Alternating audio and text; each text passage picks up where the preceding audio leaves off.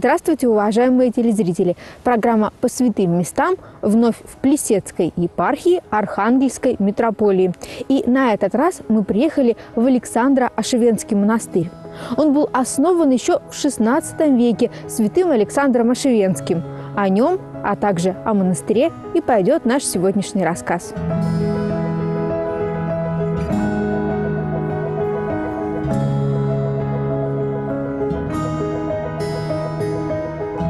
Сквозь снежный буран мы осторожно едем к святой обители. А еще в 15 веке по этой же дороге сюда пришел преподобный Александр Ошевенский. Мы едем в теплой машине, а вот юноша, который принял постриг в Кирилло-Белозерском монастыре, пробирался через лес. Здесь, в лесной чаще, он и устроил пустынь. Здесь вместе со своим отцом они э, построили монастырь. Первые постройки, естественно, были деревянными, естественно, для этой э, местности. Вот. Но затем мы с вами вот видели, что возникли и каменные сооружения, к сожалению, на сегодняшний день разрушенные. Но, тем не менее, это памятник не только архитектуры, не только зодчества, это прежде всего памятник нашей культуры, нашей духовной культуры. После кончины преподобного Александра в 1479 году обитель на короткое время пришла в упадок, но скоро вновь ожила.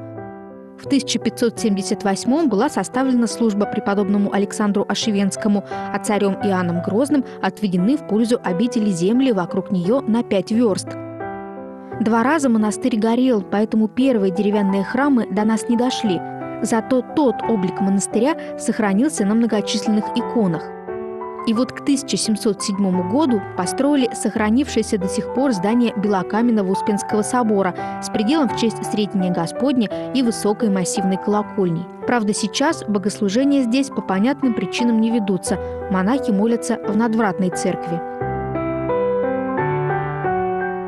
Никольский храм, в котором и проходит богослужение, является надвратным, то есть, чтобы в него попасть, необходимо подняться по ступенькам на несколько этажей. Кстати, интересный факт. Первый храм Святой обители, который был построен еще при Александре Ошевенском, также был Никольским. Вот Никольский храм, изображенный на фрагменте старинной иконы. Так еще со времен основания обители святой Николай стал ее небесным покровителем. Был здесь еще один храм – Покровский –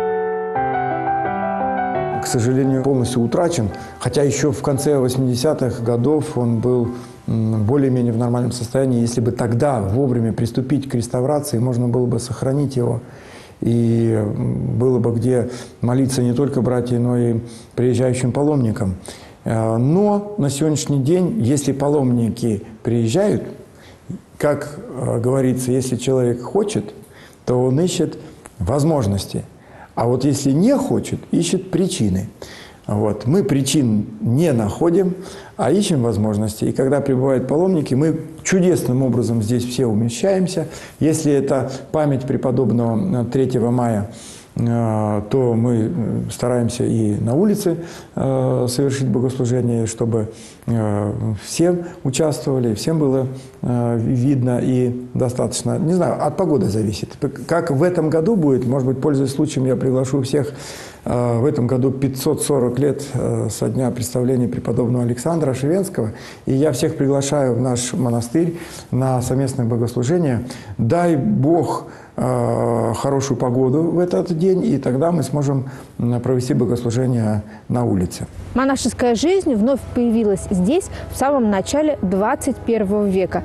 И, как вы видите, святая обитель нуждается в срочном восстановлении и нашей помощи.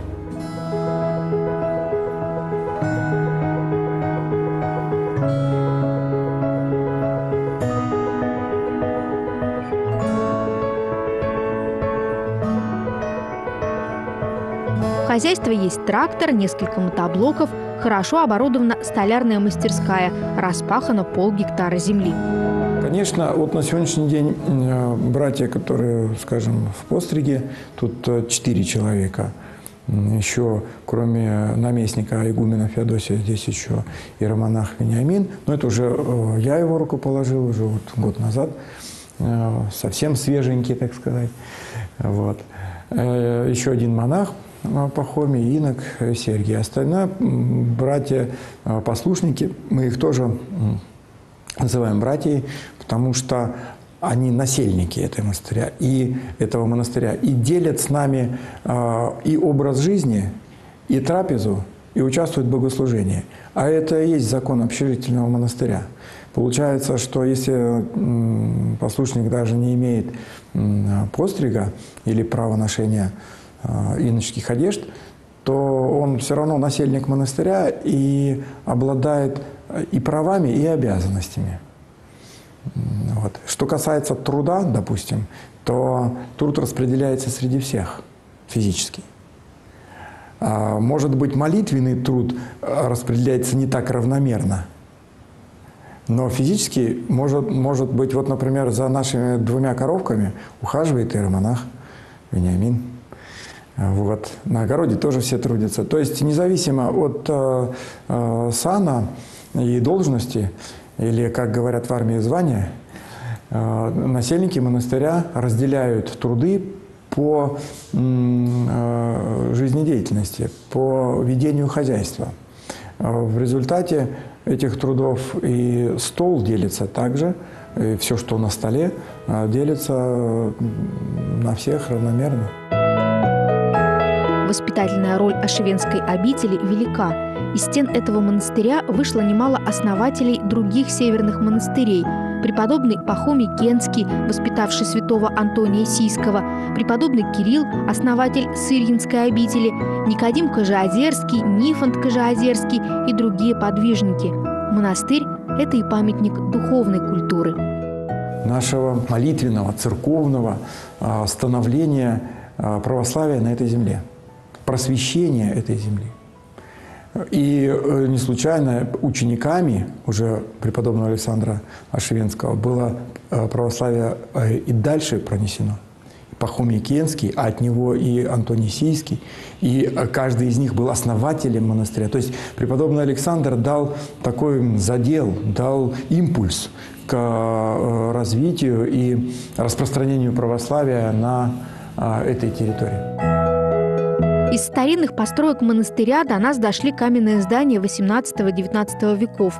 Среди них святые ворота, корпуса, построенные в стиле провинциального ампира. Вокруг монастыря стоят невысокие стены с четырьмя башнями по углам. И, конечно, здесь очень хотят восстановить старинные архитектурные постройки. Это дело реставраторов, но это не значит, что монастырь не примет помощь от тех, кто, может, и не обладает узкоспециальными навыками, зато имеет доброе сердце.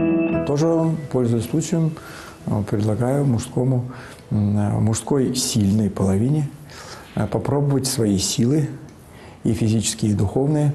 Не обязательно становиться послушником и монахом в дальнейшем. Можно просто прийти и благочестивую традицию русскую потрудиться во славу Божию в монастыре, возобновить и на себе ее испытать. Это очень хорошая традиция. Что такое во славу Божию? Это значит, ничего не приобретая себе. То есть взамен своего труда ничего не взять. Посвятить свой труд Богу.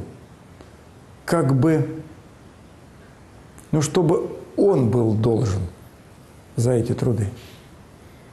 Это очень э, благочестивая и старинная традиция. И если, э, допустим, институт монашества, послушничества у нас еще сейчас возобновлен, то вот э, как вести себя труднику и, как, и вообще что это такое, мало кто знает. А тем не менее можно даже семьей приехать. Трудятся здесь абсолютно все. И за животными ухаживают, и приводят в порядок помещения – Здесь есть даже иконописная мастерская. Правда, пока образа здесь пишутся для нужд святой обители. Но кто знает, может мы скоро уже в других храмах услышим о знаменитых иконах Александра Ошевенского монастыря. Если ты потрудился больше, это значит, ты сделал что-то не для себя в этой жизни, а для кого? Для церкви и для Бога. Это же очень важно. Пока мы живы, пока Господь нам дает время на этом а, свете пожить, а значит потрудиться, как нужно нам беречь каждую минуту своей жизни для того, чтобы ее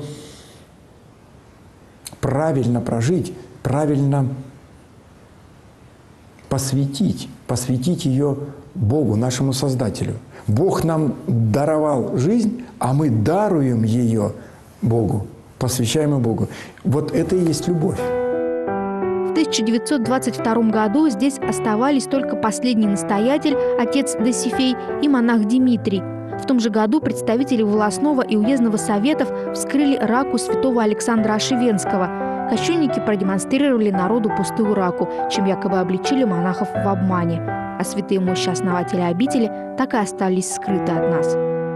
Но я думаю, что с 17 года по хотя бы даже по 20 уже три года прошло. А если это 20 какие-то, то больше трех лет. Соответственно, не так далеко до Петербурга. И братья узнала о том перевороте в головах и в сознаниях и в государственном устройстве, которое случилось в октябре 2017 года.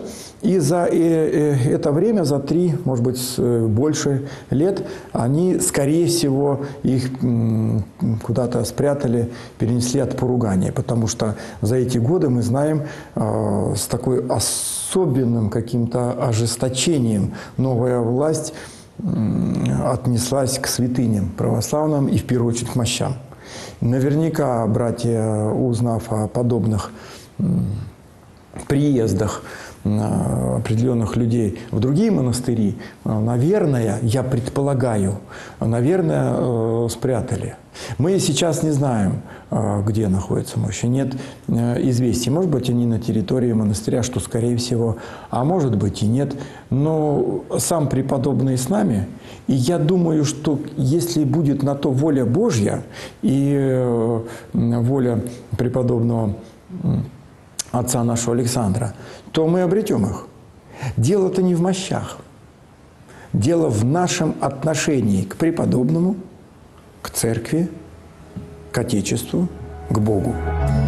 В конце 1960-х годов был затронут вопрос о реставрации монастыря, которая не была осуществлена. И только 15 марта 2001 года епископ Архангельский и Холмогорский Тихон благословил воссоздание монашеской общины. Где бы ни были мощи преподобного Александра, он всегда нам будет помогать.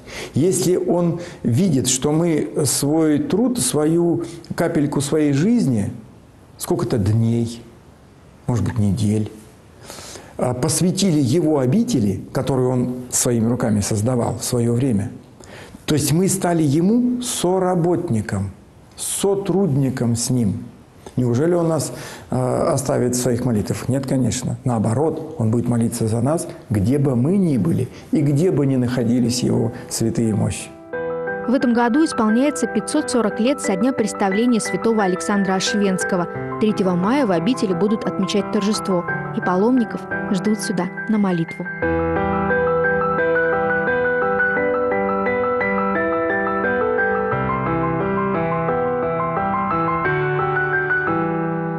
Уверен, что человек, который прибудет сюда, на эту землю, пропитанную трудами, прежде всего молитвенными, но и кроме молитвенных и физическими трудами, и самого преподобного, и насельников того монастыря, который он основал, то человек не останется равнодушным или э, не останется таким же, как он был до приезда сюда. Что-то в нем изменится. Я предлагаю каждому попробовать.